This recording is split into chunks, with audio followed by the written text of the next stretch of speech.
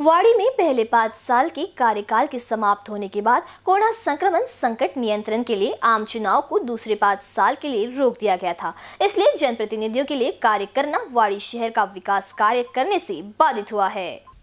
शहर में विकास कार्यों को गति देने के लिए शहर शिवसेना ने पहल की है। नगर विकास मंत्री एकनाथ शिंदे को विकास निधि प्रदान करने का आग्रह किया गया। वाड़ी शहर शिवसेना ने शहरी विकास मंत्री एकनाथ शिंदे से ज़िले के विभिन्न वार्डो में सात आवश्यक विकास कार्यों के लिए एक प्रस्ताव तैयार करने और इसके लिए उनचालीस लाख की धनराशि प्रदान करने का अनुरोध किया गया।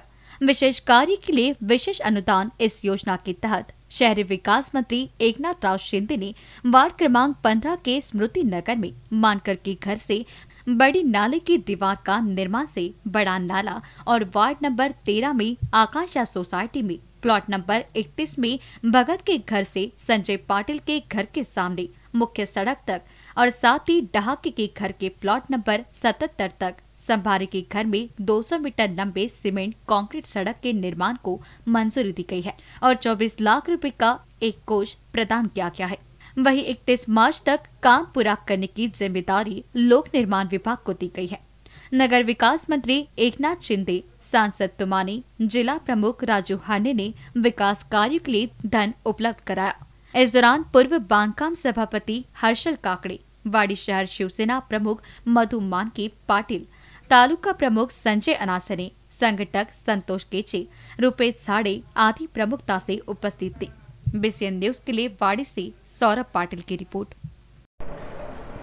वाडी नगर परिषदेची पहिली पंचवार्षिक योजना दोन हजार एकोणीसमध्ये समाप्त झाल्यानंतर दुसऱ्या पंचवार्षिक योजनेची निवडणूकच लागली नाही. कोरोनाच्या या संकटामुळे ही निवडणूक लांबणीवर पडल्यामुळे सभागृहात सदस्य आणि नगरसेवकाची कमतरता असल्यामुळे गावाच्या विकासाला अगदी खीड बसली आहे. अशातच वाडी शहर शिवसेनेने पुढाकार घेऊन गाव गावातील विकासाला चालना देण्यासाठी या रामटेक लोकसभेचे खासदार आदरणीय कृपालजी तुमाने आणि या जिल्ह्याचे जिल्हाप्रमुख माननीय राजूभाऊ हरणे यांचा यांच्याकडे आम्ही तगादा तगादा लावला आणि त्यांना विनंती केली की आवाडी नगर परिषदेच्या विकासासाठी आम्हाला कुठून तरी काहीतरी फंड आणून द्या. त्यानुसार आमच्या विनंतीला त्यांनी मान देऊन नगर विकास विभागाच्या विभागाकडे त्यांनी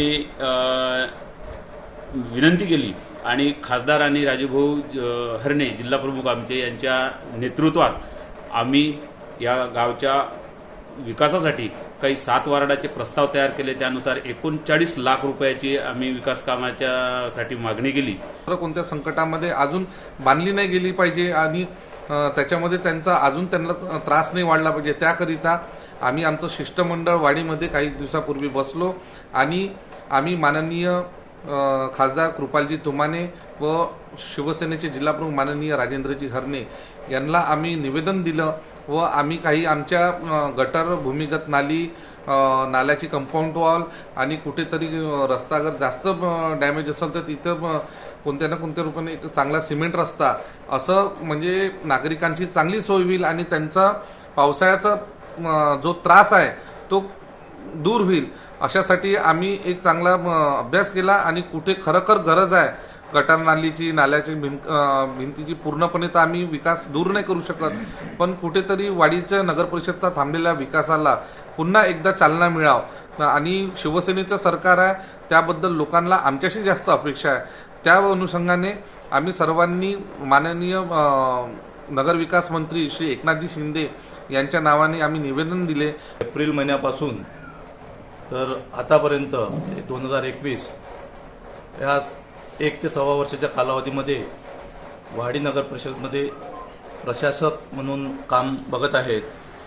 तरी बरेचसे कामं जे आहे ते वाडी नगर परिषदमध्ये होत नाही आहे त्यामुळे आम्ही शिवसेनेतर्फे आमच्या जिल्हाप्रमुखांना आमच्या खासदाराला आम्ही जवळपास चाळीस लाखाचे कामांचा प्रस्ताव पाठवला होता.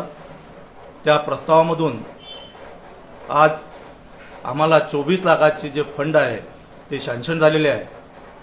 जिल्हाप्रमुख राजूभाऊ हरणे यांच्या अथोगत प्रयत्नाने तसेच खासदार कृपालजी तुमाने साहेब यांनी आमचे नगरविकास मंत्री एकनाथ शिंदे साहेब यांच्याकडे हा विषय जोमाने धरून ठेवला आणि या वाडी क्षेत्रासाठी विकासासाठी आपल्याला हा आज चोवीस लक्ष रुपयाचा फंड वाडी नगर परिषदला या वाडीचा विकास करण्याकरिता शिवसेनेच्या माध्यमातून आलेला आहे.